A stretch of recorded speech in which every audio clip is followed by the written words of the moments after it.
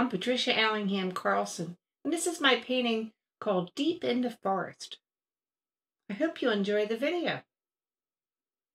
You know, there's many things I really love about being an artist. I love interpreting my own ideas and showing them as to what I think about what something really looks like. But there's things I don't like about being an artist, and that's when you mess up. We all make some bad art sometimes. And what you do with it, that's up to you. But sometimes I like to cover it over and try something entirely different with it. Because after all, what do I have to lose? I hope you enjoy it and give it a thumbs up and subscribe. Now let's paint. I started with a bad painting wet down the paper and covered it over with acrylic inks and plastic wrap. When it was all dry, I removed the plastic wrap and came up with this image. I turned it four different directions, saw something to work with, in my imagination, and began to sketch with a white pastel stick.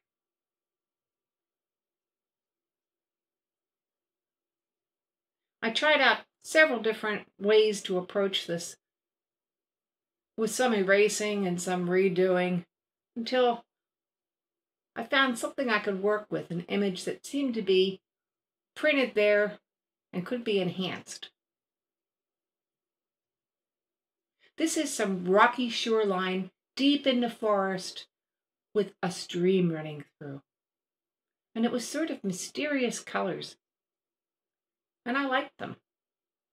I liked it a lot better than the original painting that I covered over.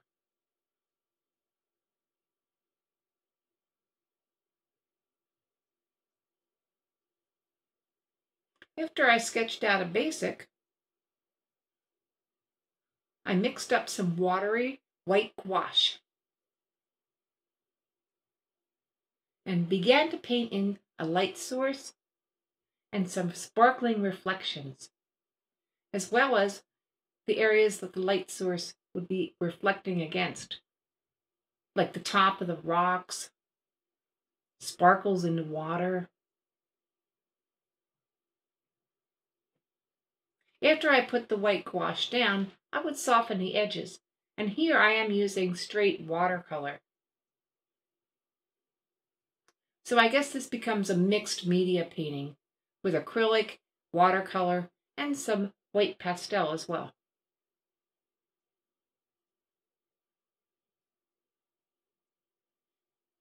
I'm sketching in the trees directly with the watercolor brush.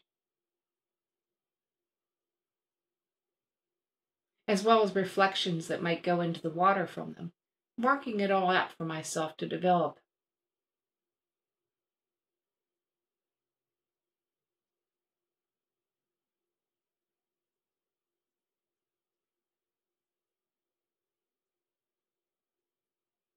Now, some people would find this to be a stimulating way to work, really jarring their imagination, and others would find it to be not nearly as much fun, working with what's already there and trying to bring it out some.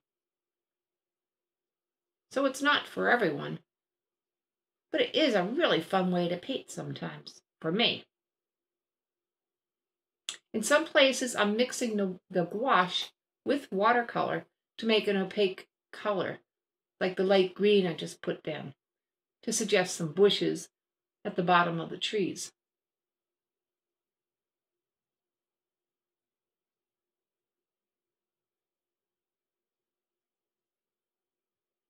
And you will see me using my fingers a lot to smudge things around.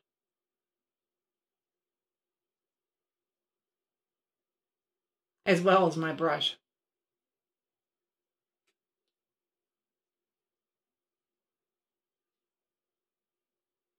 I'm laying the pencil down to remind myself where the reflection would be, because the colors would not show there.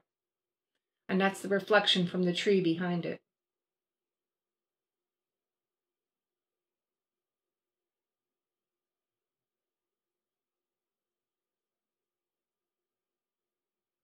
Now the acrylic glaze of acrylic ink on the paper makes the paper non-porous. So I can take colors off very easily from the watercolor when they don't work where I put them.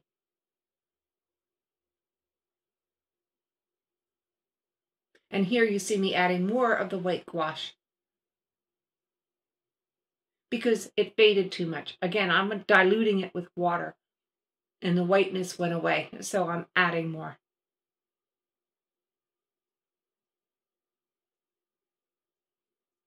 This is pure cerulean blue. And cerulean blue is a little bit opaque anyway.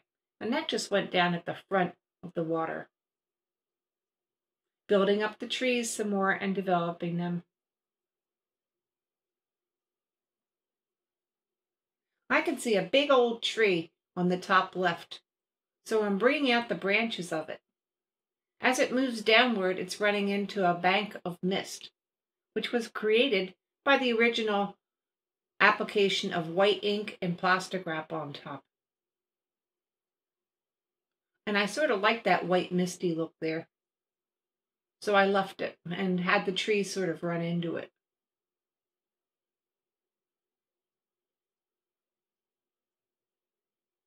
And now I'm bringing in some more bright whites from my white acrylic ink and painting them directly on, as well as some white gouache.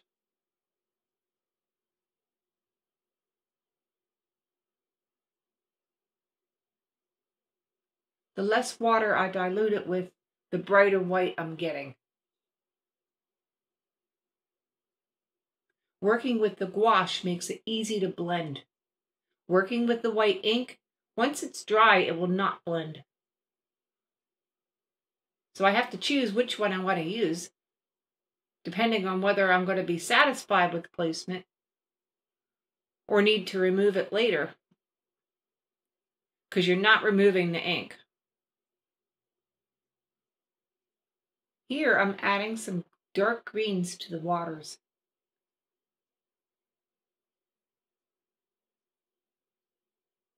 And I'm also adding some dark indigo to shade out the rocks and the edge of the stream.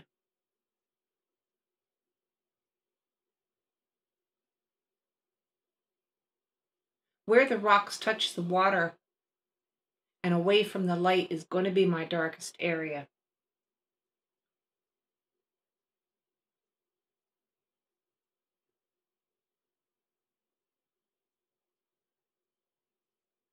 The mid tree I am making thicker and darker as well.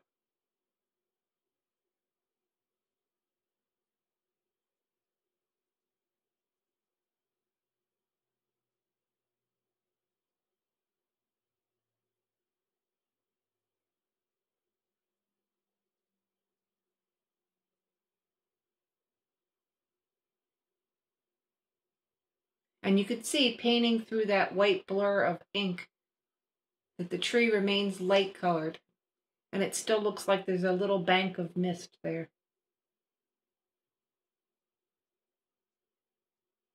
I'm developing the near shoreline and painting in around the front central tree on the right to make it stand out. At this point, I have my composition laid out and I'm tweaking and adjusting to try to make it look right.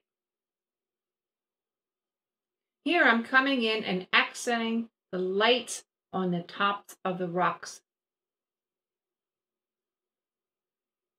I'm putting down some white gouache lines and then blending them out.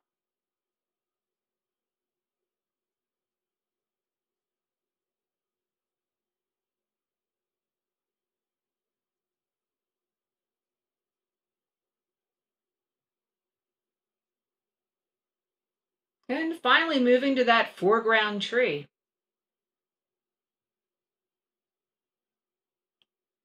This tree needs to be much more developed. It needs to have darks added and it needs to have highlights added so it appears three-dimensional because it looks very flat right now. I'm putting some unusual colors into the bark. and adding some highlights on the edge.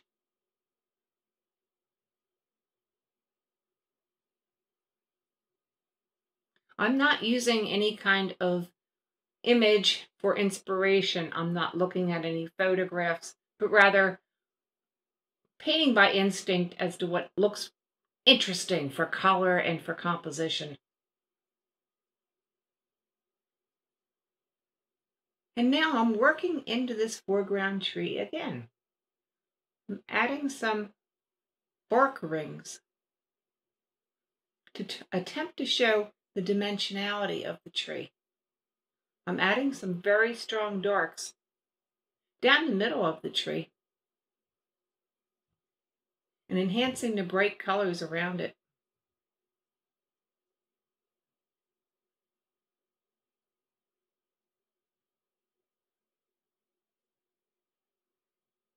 Those darks continue to dry later, as watercolor tends to do, so I re-added them many, many times. That knife is there as a marker for the blue coloring that I liked of the knife handle because I decided to add some more blues into the painting and I'm using that as a, an idea about where they might look good. I keep a pen knife in my watercolor set up so that I can slice it pieces of paper off of my blocks because I found that to be the best tool for removing paper from watercolor blocks. And the blue is going in all around the composition. And I like how it looks.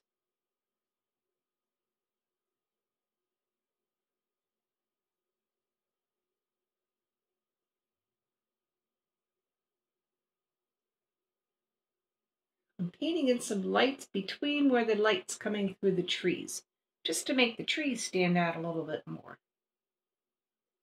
And also, I continue to add lights to the water where they faded at.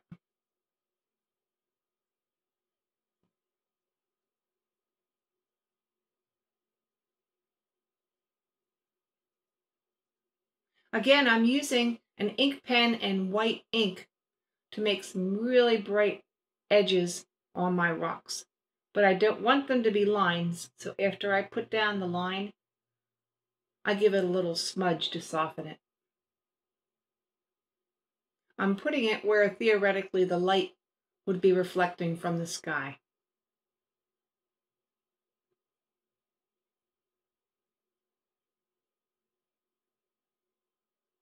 I'm also using it to develop the formations of the rocks and show how they're formed. And to make the tree in the central foreground stand out some more.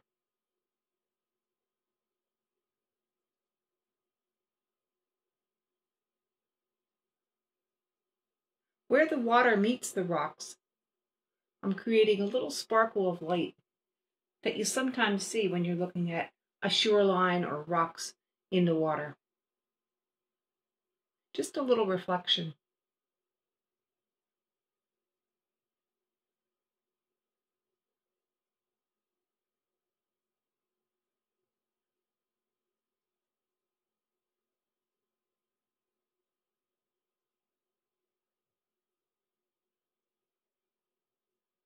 For my next step, I am bringing in stronger darks. Because again, my darks faded out.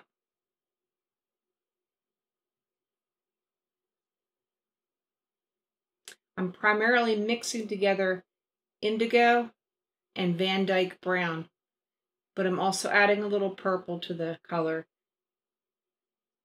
to make a good strong dark without making it black. And you can see the rock formations that I'm painting in to try to make the rocks look believable, even though they're fantastic colors. They could still look like rocks.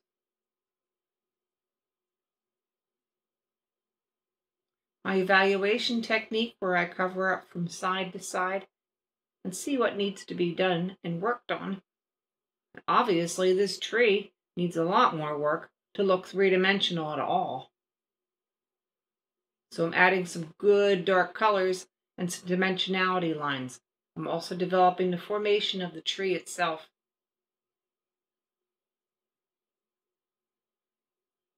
And how it's growing.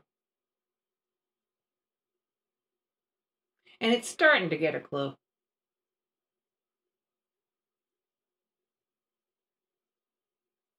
But it's not there yet.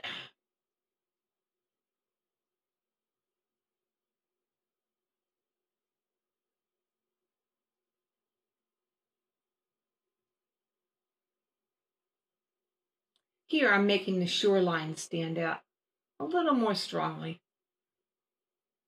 and getting it a little bit more level. And adding some sparkles of light to some areas. And I'm using the white acrylic ink. Just about this time, working with the white ink to make the front tree stand out a little bit more, I decided to suggest a face in the tree. I wonder if you can see it forming. Just a little hidden surprise to have some fun.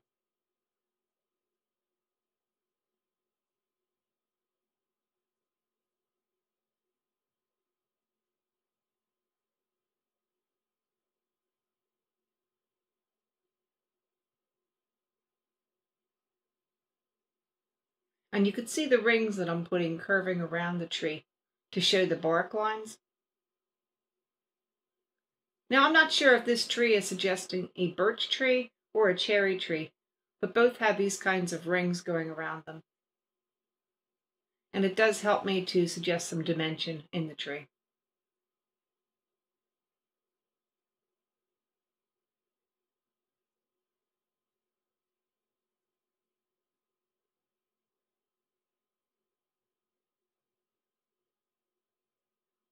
And in comes some stronger darks.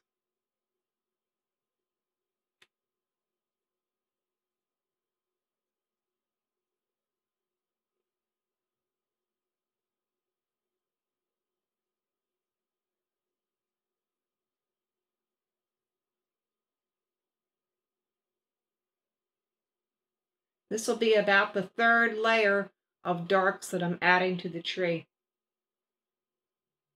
because I'm just about done with the whole painting and it just needs to come out some more.